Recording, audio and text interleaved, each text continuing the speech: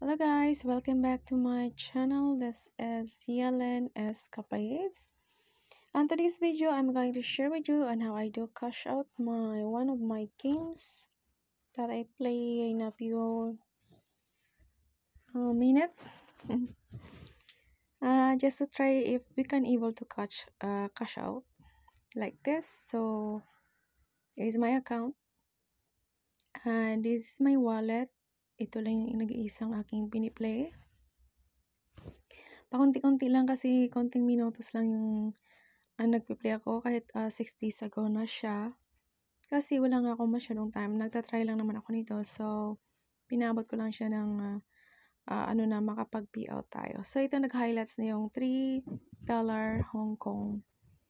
So, 3 Hong Kong dollar. Ayan, 399 um, 9 coins siya. So, let's try to cash out. Of course, ilagay natin ang ating um, PayPal uh, account. Let's put our PayPal account. Ayan, next.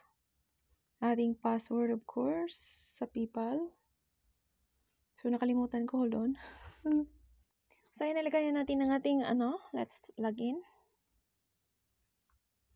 At let's check. So, as you can see, nawala na yung ating highlights dyan. So, it means paid out na sa ating PayPal account. So, mayroon na lang akong 14 coins. Ayan lang siya guys, ka-easy. If you want to play games, I will copy paste this my invitation for you.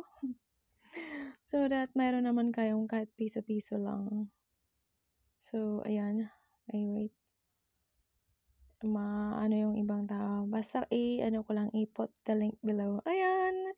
Thank you for watching. Hope you like this uh, short tutorial games na aking ginawa. See you next time guys. God bless.